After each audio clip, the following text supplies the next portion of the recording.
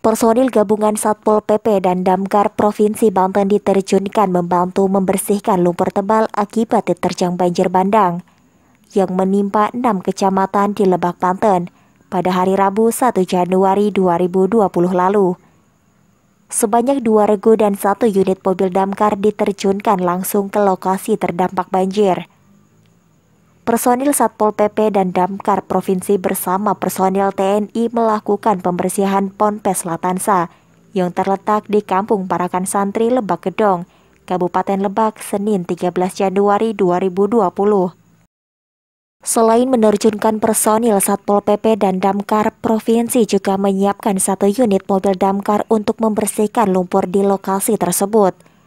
Saat ini personil gabungan sedang melakukan gotong royong membersihkan lumpur di lokasi tersebut.